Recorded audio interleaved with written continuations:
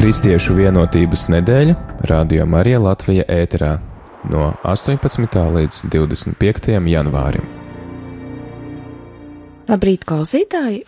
Ir otrdiena, pulkstens desmit, un kā ierasts šī laikā Radio Marija ēterā skan rīta lūkšana, bet eh, šorīt lūkšana ir saistībā ar kristiešu vienotību. Mēs lūksimies par kristiešu vienotību, un sākumā izlasīsim rakstu vietu no Amosa grāmatas 8, 4, 8 pants. Uzklausiet šo vēsti, jūs, kas nemācat nabago un izdeldējat zemes bēdu ļaudis. Jūs, kas sakat, kad tad no jaunais mēnesis būs pāri, ka varam pārdot labību, un kad būs pagājis sabats, ka varam atvērt labības klētis, samazinot mēru, paaugstinot cenu un viltojot svaru, ka beidzot mēs varētu nopirkt nabagos par naudu un trūcīgos par pāri kurpju un pelavus pārdot par graudiem Pret šādu jēkabu augstprātību tas kungs ir sacījis zvērēdams. Tiešām visus šādus viņa darbus es nekad neaizmirsīšu. Vai šī iemesla dēļ nebūtu jānodarb zemē un visiem tās iedzīvotājiem jāaizmirst, tiešām zemē tad būtu jāpārplūst, kā nīlai, lai būtu jāpaceļas un jānokrītas kā Eģiptes straumei. Un otrs fragments no Lūkas evanģēlīja 4. nodaļas 16. 21. pants. Tā viņš nonāca Nāceretē, kur viņš bija uzaudzis, un pēc sava ieraduma viņš sabata dienā iegāja sinagogā. Viņš piecēlās, lai lasītu, viņam pasniedz praviešu iesaist grāmatu. Grāmatu atverot, viņam gadījās tā vieta, kur bija rakstīts: Tā kunga gars ir uz mani, jo viņš man svaidīs sludināt priekvēst nabagiem, pasludināt atsvabināšanu cietumniekiem un akliem gaismu, satriektos palaist vaļā, un pasludināt mūsu kunga žēlstības gadu, un grāmatu aizvarot, viņš to atdeva sulainim un apsēdās, un visi, kas bija sinagogā, vērsa savus skatus uz viņu, un, un viņš iesāka uz tiem runāt. Šodien šis jūsu ausīm dzirdētais raksts ir piepildījies. Tas bija svēto rakstu lasījums. Āmen. Pārdomas. Pravietis Amos nosoda tirgotājus, kuri krāpjas un eksploatē nabadzīgos, lai iegūtu maksimālo peļņu. Pravietis uzsver arī to, ka Dievs redz, ko viņi dara, un to nekad neaizmirsīs. Dievs dzird netaisnības upuru kliedzienus un nekad nepameta tos, kuri tiek eksploatēti un pret kuriem izturas netaisni. Mēs dzīvojam globalizētā pasaulē, kur zeļ marginalizācija, eksploatācija un netaisnība. Plaisas starp bagātajiem un nabadzīgiem ar vien padziļinās. Ekonomiskie sasniegumi kļūst par izšķirošo faktoru attiecībās starp tautām, valstīm un sociālajām grupām.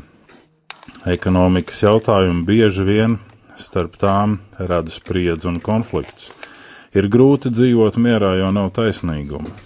Kristieši tiem visiem kopīgās kristietības vārdā ir līdzdalīgi Jēzus pravietiskajā misijā, proti, misijā sludināt gan ar vārdiem, gan darbiem labo vēsti, nabadzīgajiem un neaizsargātajiem.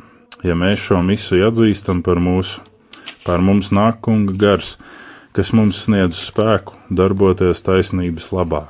Mūsu Kristiešu cieņa mūs aicina runāt un rīkoties tā, lai pravieši iesaist sacītie vārdi, kurus Jēzus pasludināja nāceretē, ikdienas piepildītos tajā, ko uztver mūsu līdzcilvēki. Lūkšana.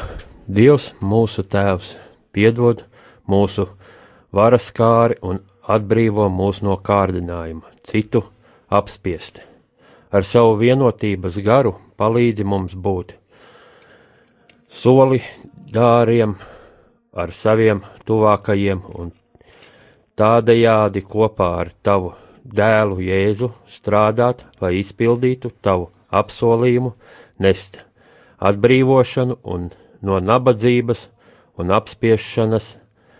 To mēs tev lūdzam viņa vārdā. Āmen. Vi annuncio con gioia che la prossima giornata mondiale della gioventù dopo le due a livello diocesano sarà nel 2019 a Panamā. Pasaules jauniešu dienās no 22. līdz 27. janvārim Panamā pulcēsies simtiem tūkstoši jauniešu no visiem kontinentiem, lai svinētu ticību kopā ar pāvestu Francisku un visu baznīcu. Seko līdzi lielākajiem jauniešu dienu pasākumiem ar Radio Marijas starpniecību no 22. līdz 27. janvārim. Ēterā reportāžas no notikuma vietas, dievkalpojumu un citu pasākumu tiešraides.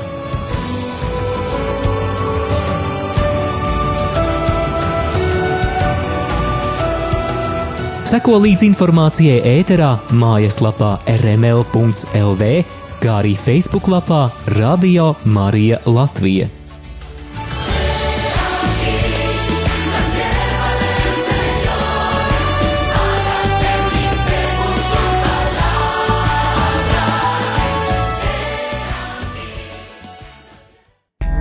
Kristiešu vienotības nedēļas sarunas Radio Marija Latvija ēterā.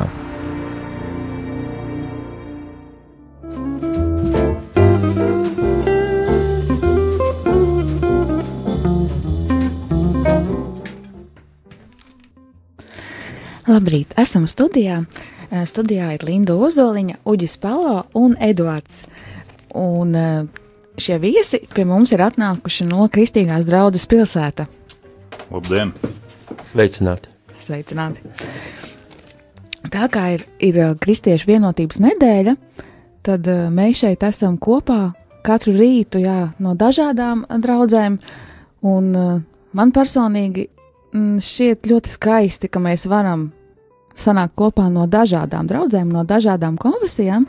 Man tas atgādina kā lielu māju, kā ģimeni lielu, kur ir viens tētis, jo mums ir visiem viens tētis, un eh, kuri mēs dzīvojam vienā mājā, bet pārsvarā pa savām istabām. Un tad ir šī nedēļa, šie svētki, kad mēs uh, sanākam visi kopā viesistabā.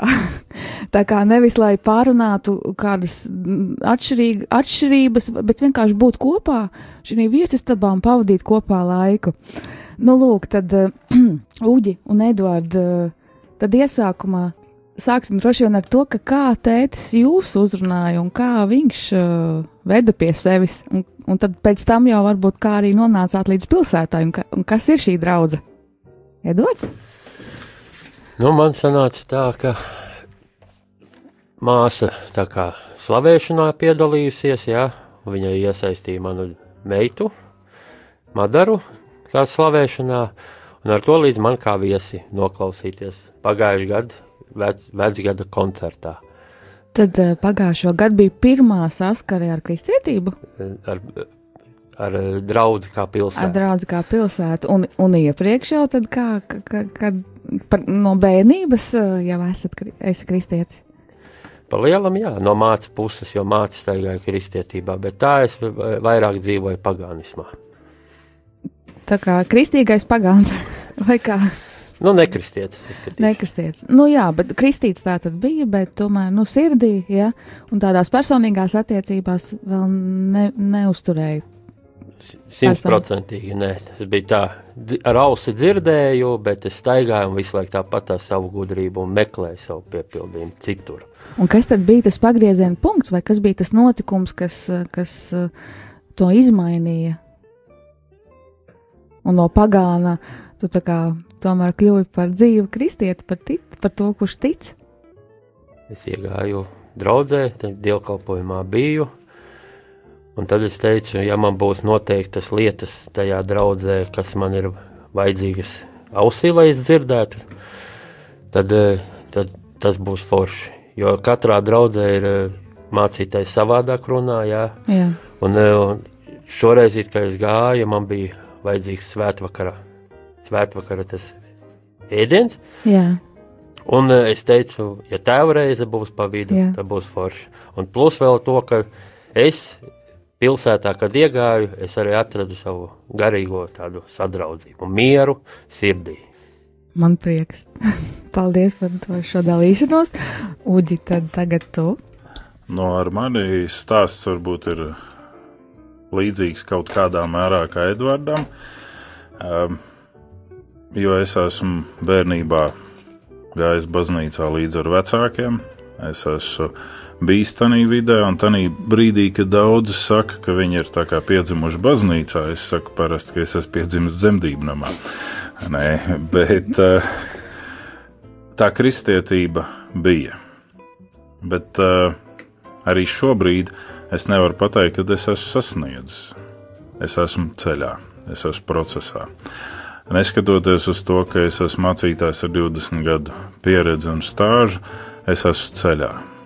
Es neesmu sasniedzis. Ko apostol, tieši neesmu sasniedzis? To pilnību, pilnību, to dieva būtību, to it kā mēs visi tiecamies uz kaut ko.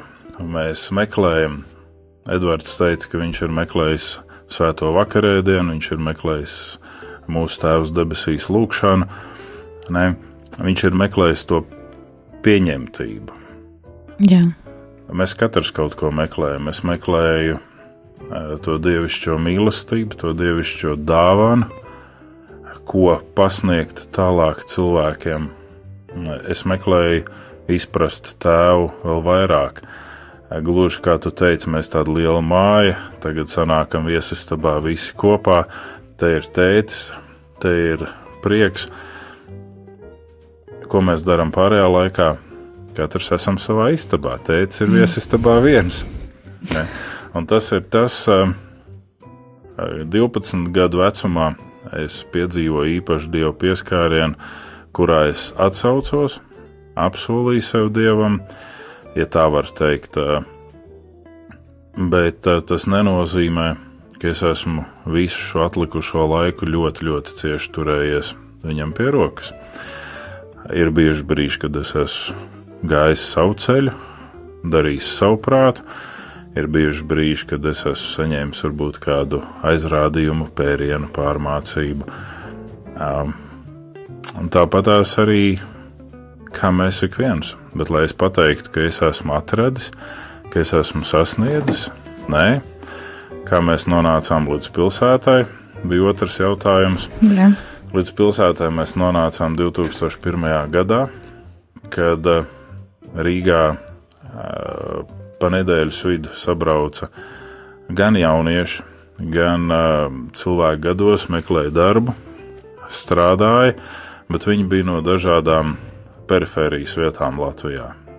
Un veidojās tāda kā Bībeles studiju grupiņa, kā katehumēnu kopā sanākšana, kur mēs nācām kopā, lasījām Bībeli, mēģinājām viņu izprast vairāk veidojām kādas kalpojošas aktivitātes ielu bērniem, svētdienas skolu vadījām, mēģinājām palīdzēt viņiem dzīvē.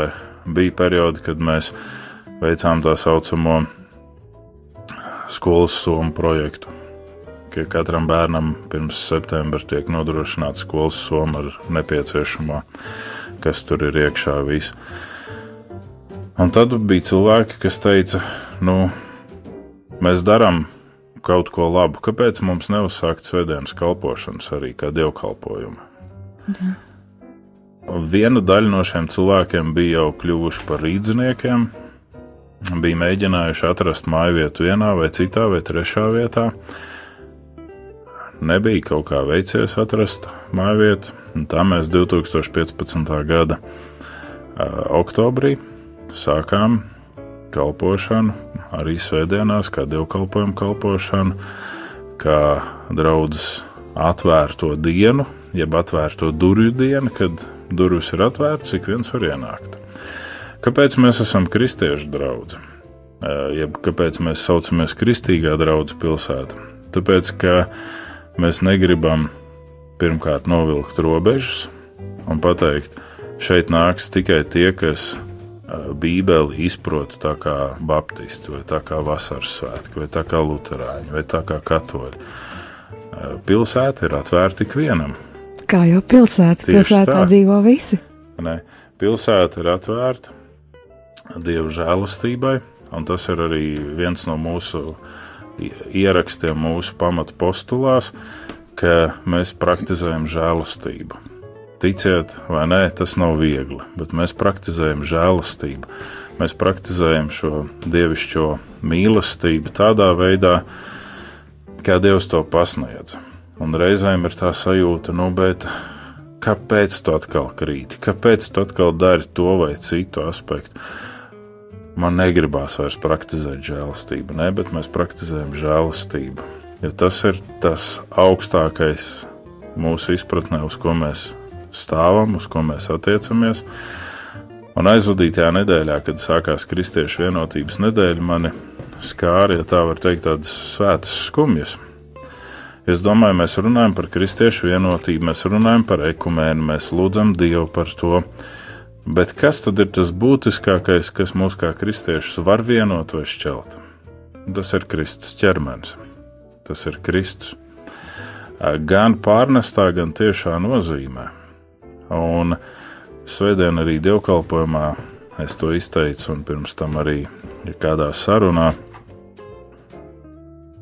ka mēs varēsim reāli runāt par vienotu kristietību, jeb kristiešu vienotību, tad, kad mēs atļausimies savām prātu robežām pārkāpt pāri, un ka mēs varēsim svēto vakarēdienu, jeb dievgaldu, jeb evaharistiju, vienalga kā mēs viņu saucam, baudīt kopā.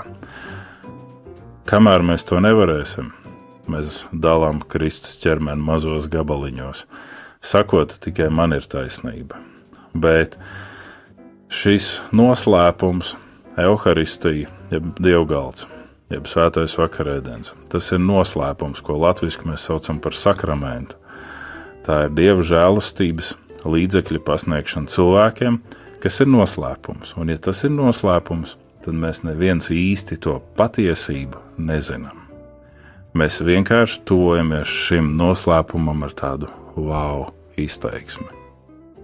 Paldies, Uģi!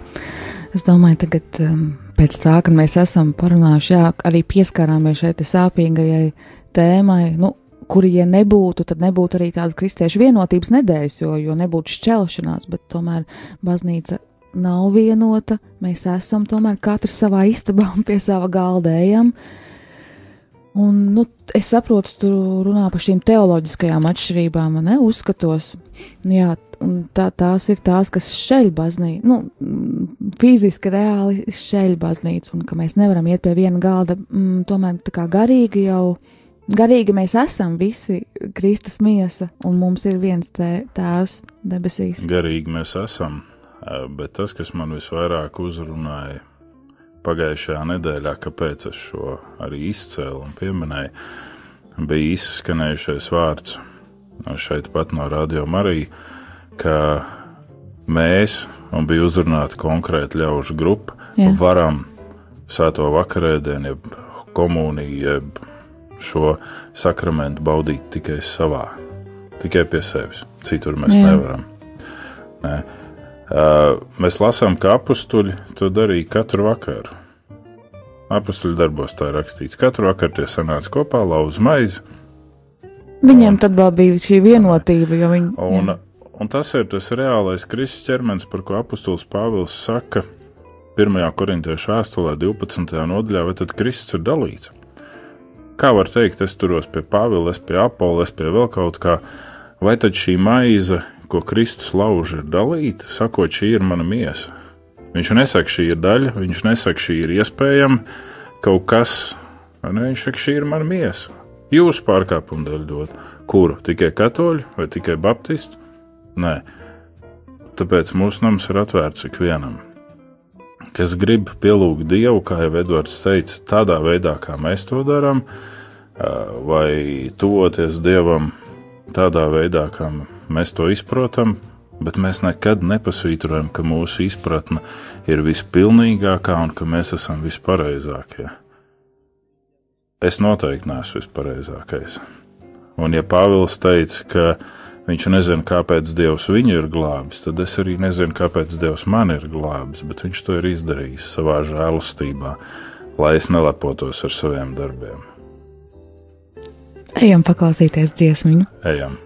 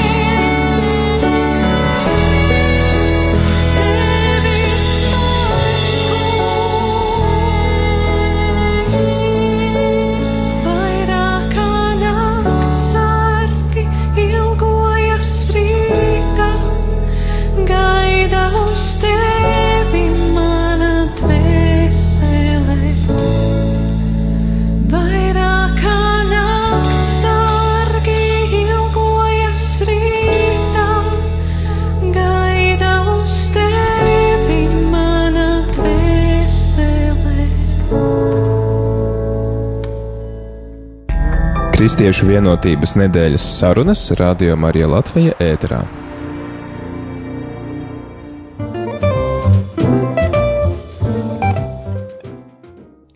Radio Marija Latvija ēters, Kristiešu vienotības nedēļa. Pie mums viesos ir Kristīgās draudzes pilsēta mācītājs Uģis Palo, arī Kristīgās draudzes, nu, teiksim, biedrs nevar teikt. Brālis. Bra jā, pareizi, brālis. Edvards un uh, Linda Ozoliņa. Edvards, pastāst par savu pieredzi, par savu vienotību mm, ar Dievu, ar Kristīgo baznīcu, draugu, pilsētu vai par vienotību, ko tu gribi pateikt šī kristiešu vienotības nedēļā. Kas tev varbūt ir vienotība šajā kontekstā?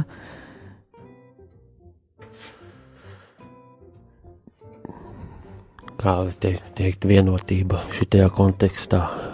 Katrs jau cilvēks, godīgi teikšu, meklē dievu piepildījumu pats. Jo katram ir eh, ar dievu savu vienotību jāatrod pašam, personiski. Jo neviens cits nevar iemācīt to.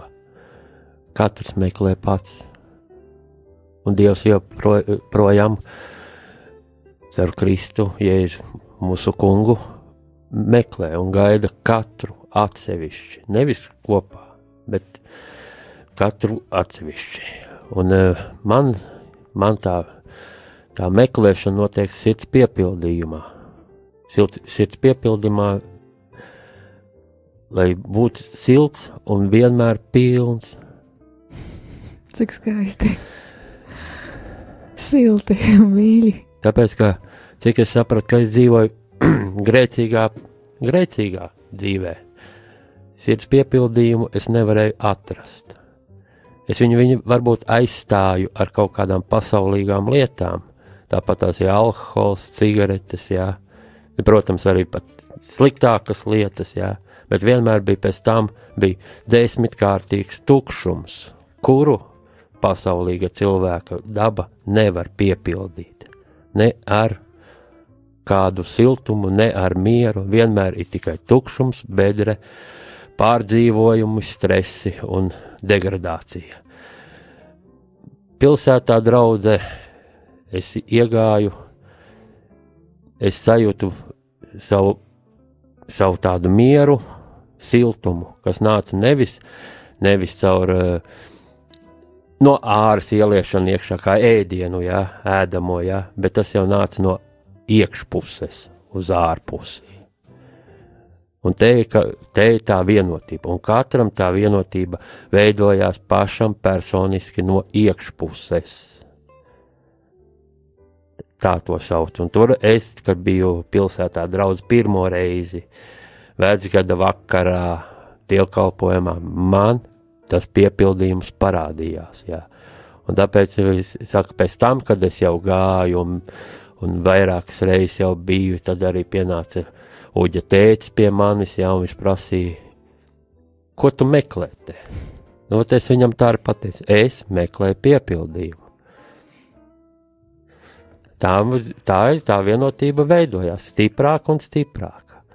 Tā ir tā, pat, tā pati svarīgākā vienotība. Tu pat uh, nu, aizskāri pašu tādu būtiskāko, tu uztvēri šo pašu būtiskāko būtību šajā vienotībā, jo mēs arī viens ar otru varam būt vienoti tikai tad, kad mēs iekšā sajūtam, nu, kā tev šī brīnišķīgā pieredze, ka tu jau pašā sākumā draudzē sajūti šo siltumu vienotību, no, kas nāk no iekšpuses, ko Dievs lai tevī un ko tu pēc tam ar kuras palīdzību pēc tam tu vari būt vienots arī ar, ar brāļiem un māsām. Paldies tev liels par šiem spēcīgiem vārdiem, par šo liecību. Man tā, piemēram, ļoti uzrunāja. Un, un, un, un te arī es redzu to, ka, ka nu, piemēram, mēs jau tagad piedzimstam, un, un, un mums jau, jau ir sašķelta baznīca, ja, un ka, ka šis skats uh, pavarās vispār no otras puses, ka, ka īstenībā mēs jau neviens neesam ne vainīgs, ne līdzdalīgs, kas tagad dzīvojam baznīcas šķelšanā. Un kad šīs daudzās draudzes ir, um, tas nav. Tas nav par šķelšanu, bet Dievs to izmanto par vienošanu, jo Dievs katru, uh, katru draugu izmanto, lai uzrunātu cilvēku, kurš tā ienāk. Un, un, un tā ir vienotība, jā. Un, un tāpēc, tāpēc ir prieks par šo nedēļu, kad mēs sanākam viesistabā, draudzīgā atmosfērā, un mēs varam pārdomāt par to, par šo vienotību. Āmen! Āmen! Mazā mūzikas pauzē aiziesim!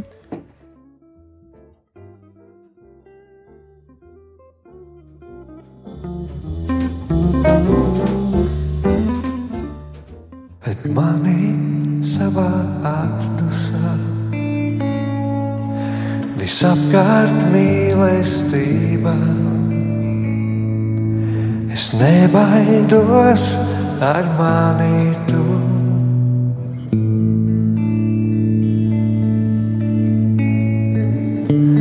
Ar tevi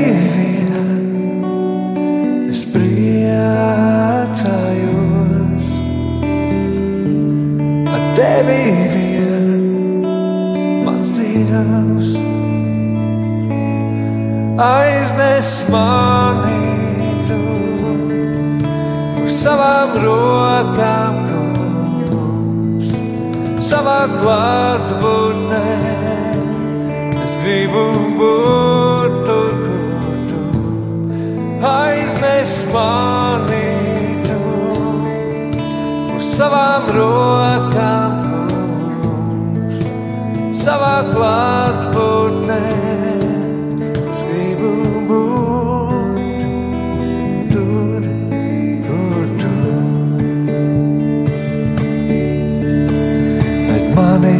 Savā atdusā, es apkārt mīlestība.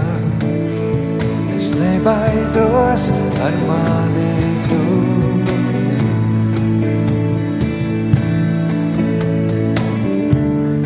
Tevi vien es priecājos.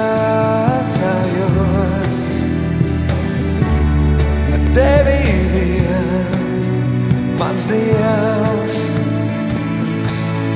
aiznes mani tu savām rokām kungs, savā klātbūtnē. Es gribu būt tur, kur tu aiznes mani tu savām rokām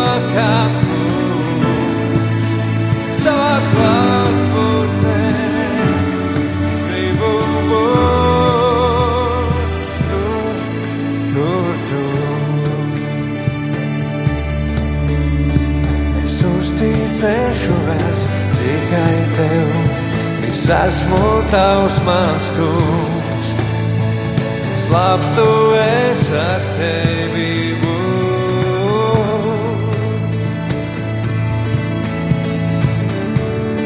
tevi vien es priecājos.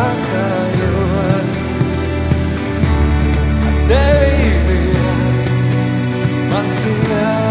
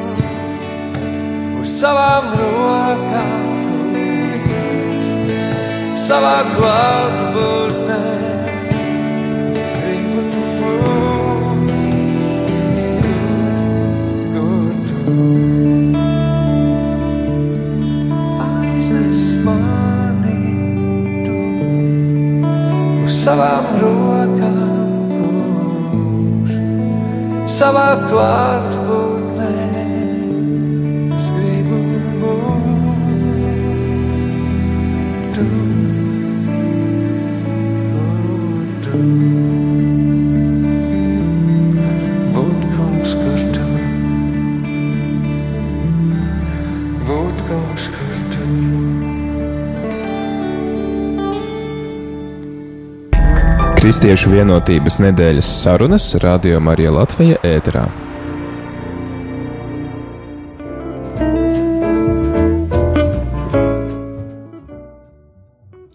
Kristiešu vienotības sarunas rādījām arī ēterā, arī visā Latvijā un pasaulē. Pie mums ir Kristīgās draudzes mācītājs Uģis Palo, Kristīgās draudzes brālis, mūsu brālis visu Eduards un Linda Ozoliņa. Pārunājām to, ka šī kristīgās nedēļas, um, šī sadraudzība kristiešu dod mums iespēju un prieku mierā sanākt kopā, pa, būt vienā istabā, ka ka, diemžēl, ir notikusi šī baznīcas šķelšanās, un ir daudz, daudz konfesiju, daudz baznīcu, daudz draugu, vai kā labāk to uģu nosaukt pareizāk. Un ka, nu jā, var... Visa, kā mums ir daudz. Jā, daudz. Visa, kā mums ir daudz. Un ir arī, protams, šīs teoloģiskās um, atšķirības, kas rada nu, šķelšanās tas, tas nav vienotība. Šķelšanās tas nav tikai tas, ka mēs fiziski nesēžam viens otram klāt, bet šķelšanās ir tas, ir arī nu, šis gars, ka, ka nav vienotības. Mēs neesam viens, nav šīs siltuma iekšā un vienam pret otru, kā Edvards tikko liecināja, ko viņš piedzīvoja. Mēs visi kopā to bez šķelšanās nepiedzīvojam. Tomēr, tomēr. Uh, tomēr ir viena Kristus miesa. Uh, ir viena Kristus miesa, ir tas, ko mēs uh, lasām korintiešu vēstulē, un ko arī Jēzus pats ir kādreiz teicis, ne, ka viņš ir no tēva ielikts kā galva, un mēs esam kā ķermenis, kā daļas, un tas, ko varbūt uh, tā kaut kādā mērā pētot, es esmu atklājis, protams, ka katra mazā lokālā draudzene veido arī it kā to Kristus ķermeni.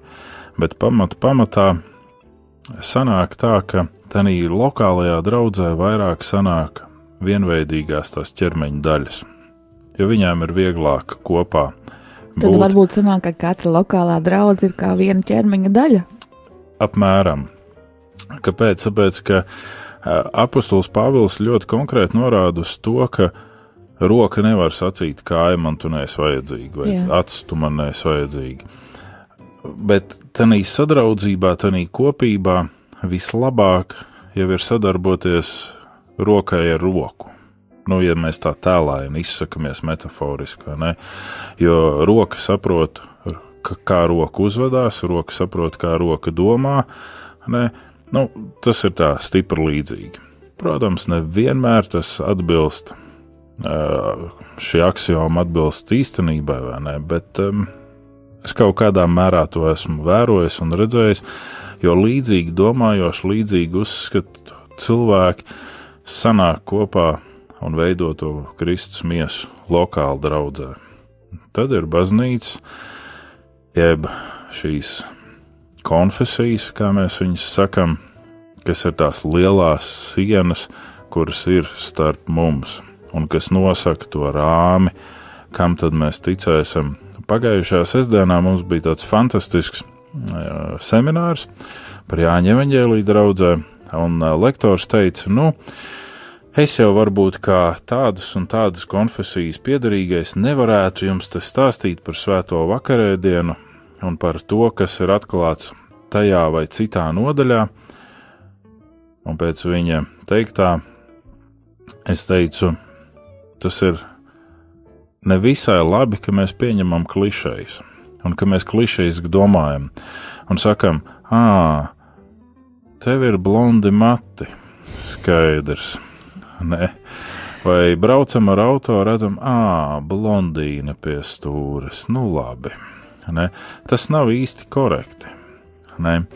Ja tikpat tā blondīna paskatās uz mani un saka, tu atgādini, nu, tādu pareizticīgo popu, tev tā bāda tāda gara.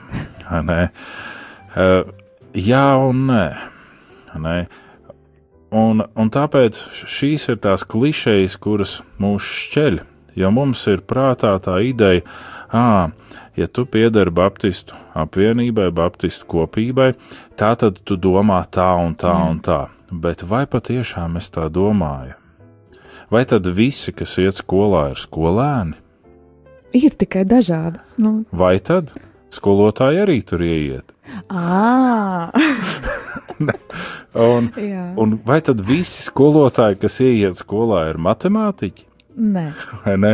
vai tad mēs neesam dažādi? vai tad mēs neesam arī atšķirīgi šajā ziņā? Un, un tāpēc es eh, palieku pie tā, ka mums ir jācīnās par mīlestību savā starpā, starp draugiem, starp konfesijām. Un mīlestība ir Kristus pats, ne? kas tiek pasniegta mums svētajā vakarēdienā. Edvards to aizkulisēs mums pieminēja savu pieredzi braucot cauri Eiropai, ka viņš citā baznīcā tiek uzņemts ar smaidu un ar prieku, un citā skatās, kas tu tāds, ko tu te dari, vai ne? Un vēl pie mūsu vakarēdienu tu ies. Kāpēc? Vai es šo žēlastības līdzekli, ko Dievs ir devis, esmu tiesīgs kādam atņemt? Jo Jēzus saka, lai gan mēs sakām, ka tā nav Jēzus runa Jāņa evanģēlijā, bet ka tā ir autora pieliktā daļa, viņš saka, ka katrs, kas netic viņam trešajā nodaļā, jau sevi ir notiesājis. Un, un līdz ar to, vai es varu pateikt, nē, mūsu draudzē blondīnēm netiek dots vakarēdienas. Nē, nē, nē, nē, viņas vienkārši izšķērdē dievu žēlastību. Nē, nē, nē. Un mēs arī savā liecībās teicām, ka mēs nezinām, kāpēc Dievs vispār mūs izredzēja, kāpēc Dievs mūs aicināja. Un Jēzus Lūkas evanģēlijā 18. nodaļā saka, vai tad, kad viņš nāks vēlreiz pēc savas Jā. draudzes, vai viņš mīlestību atradīs. Dievs uzklausa ticīgo, lūgšanas Dievs uzklausa ticīgos, bet vai tad, kad Jēzus atgriezīsies, viņš ticību atradīs? Mums ir jāpaklausās dziesmu laikam. jāpaklausās.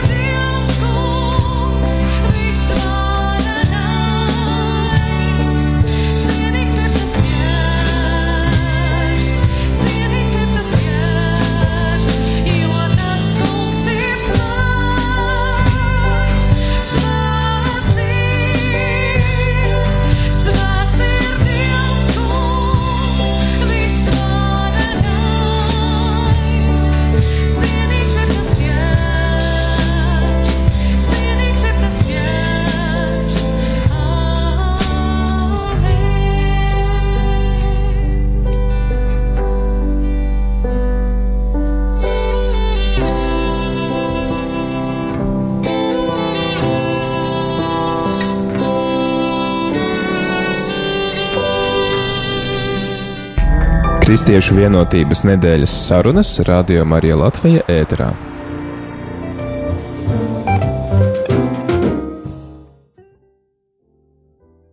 Studijā ir Kristiešu vienotības savien, eh, sarunas, savienības arī, jā, savienība starp Puģi Pālo, starp Eduārdu un starp Lindu un, un mēs visi Dievā un ar jums.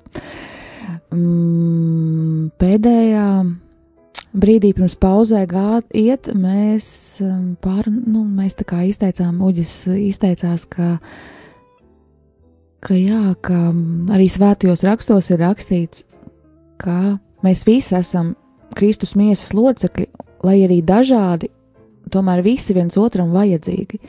Un, un ne roka var teikt kājai, respektīvi, ne lutrāņi var teikt katoļiem, ka viņi viņiem nav vajadzīgi, vai ne baptisti var teikt, nu, nezinu, pilsētai draudzē, ja, ka viņi nav vajadzīgi. Mēs nevaram to teikt, jo mēs visi esam Kristus miesa, lai arī ļoti dažāda un, un, un jā, arī fiziski sašķelta. Mm, Ir jau šī stunda, iet uz beigām. Eduardu Nuģi ir varbūt vēlējums sirdī klausītājiem, novēlējums, kā, kā būt vienotībā, kur to meklēt un jā, kā tā palikt. Es domāju, ka ko es varētu novēlēt katram klausītājam, ja, kas dzird, vienmēr nekautrēties tajā svētdienā, ieiet jebkurā draudzē, ja nav nesanāk savā aiziet sadraudzē, draudzē, bet ieiet jebkurā baznīcā, jebkurā draudzē un pameklēt to mīlestību un ticību, kura ir tajos cilvēkos, kas atrodas tur. Un viņa vienmēr var redzēt, jo jebkurā draudzē ir to, ko Dievs redz. Āmen. Āmen ļoti mīļi, ļoti spēcīgi. Savukārt es eh, gribētu vēlēt un teikt, ka tiem cilvēkiem, kas ir baznīcā jau iekšā, būsim patiesi mīļi, būsim Kristus mīlestības pilni. Es atceros, kad veca mācītāja lūgšanu, ko praktiski gandrīz katrā reizē viņš teica, Dievs dod mums golgātas sirdis, sirdis, kas mīl, sirdis, kas uh, piedod, sirdis, kas piedzīvo tevi, un sirdis, kas piedzīvo tā, ka var dot arī citiem. Un ir divreiz Bībelē pieminēta upe, jeb strauma, tādā īpašā veidā. Viens ir tā svētības trauma, kas tiek pieminēta pravieša Ecehila grāmatā, kur viņš redz, ka no tempļa, jeb no dieva klātbūtnes, jeb no draudzes izplūst upe, kas ir kā maza, maza tērcīta.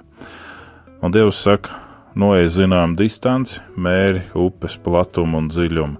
Un viņš mēra, un jo tālāk tā upe plūst, jo plašāk viņa paliek. Un beigās viņam ir jāliek peldus šajā upē. Un lai tā tas arī ir ar mums, un lai mēs varam piedzīvot šo patieso dieva mīlestības upi. Un otrā lieta, ko Jēzus saka, pēc lielajiem svētkiem Jāņa Evanģēlīja 7. nodaļā, viņš saka, ja kādam no jums slāpst, nāciet pie manis un dzeriet, un es jums došu dzīvo ūdeni, un no jums plūdīs dzīvo ūdens straumi.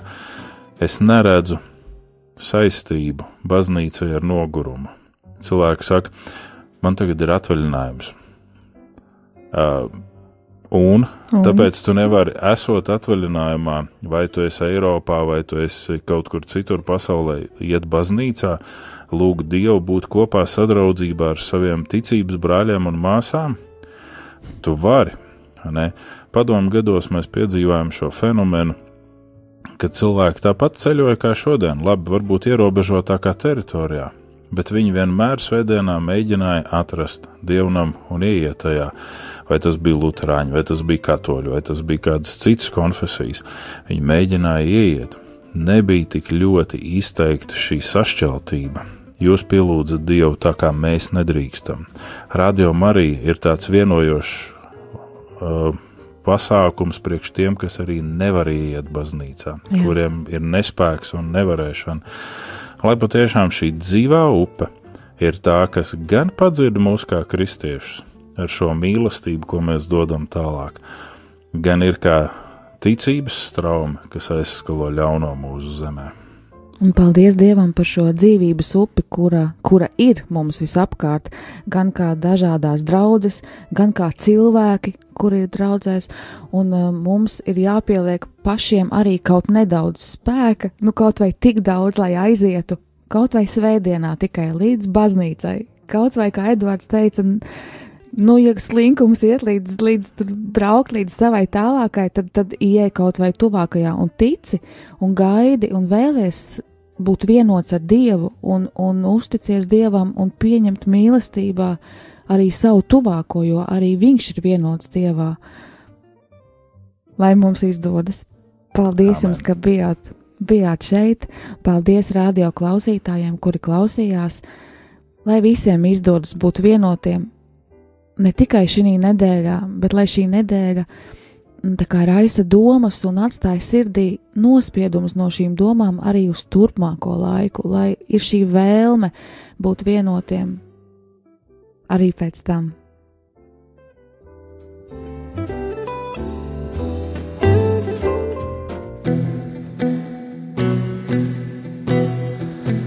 Tagad dzīvā upē no tava troņa caur krustu mūsu sirdīs.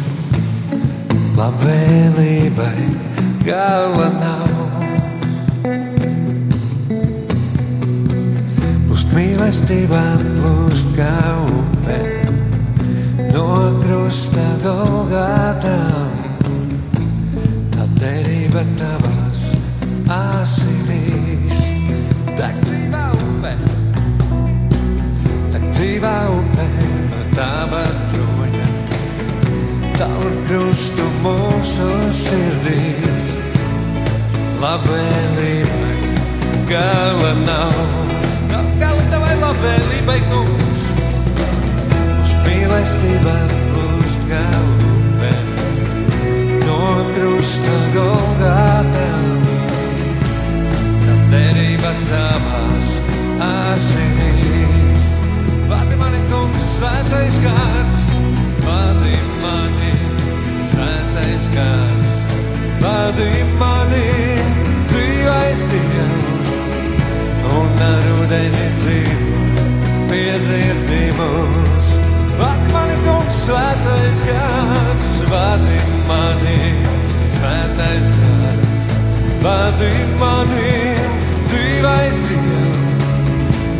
Ar ūdeni dzīvo, piedzirdi mūs, tak dzīvā upē, dzīvā upē, tava kroņa, caur krustu mūsu sirdīs, labvēlībai gala nav, gala labvēlībai, uz mīlestībām plūst kā upē no krusta Golgātā. Labērība tavās asinīs, vad mani kungs svētais gars, vadi mani svētais gars, vadi mani dzīvais Dievs, un ar ūdeni dzīvo, piedzirdi mūs. Vadi mani kungs svētais gars, vadi mani svētais gars, vadi mani dzīvais Dievs, un ar ūdeni dzīvo, piedzirdi mūs. Vadi mani, kungs, svētais gars, vadi mani, svētais gars, vadi mani dzīvais Dievs, un ar ūdeni dzīvo, piedzirdi mūs. Vadi mani, kungs, svētais gars, vadi mani, svētais gars, vadi mani, dzīvais Dievs, un ar ūdeni dzīvo, piedzirdi mūs, un dzīvo, piedzirdi mums un ar ūdeni, un ar ūdeni dzīvo, piedzirdi mums, ja mums svētais gads, un ar ūdeni, un ar ūdeni dzīvo, piedzirdi mums.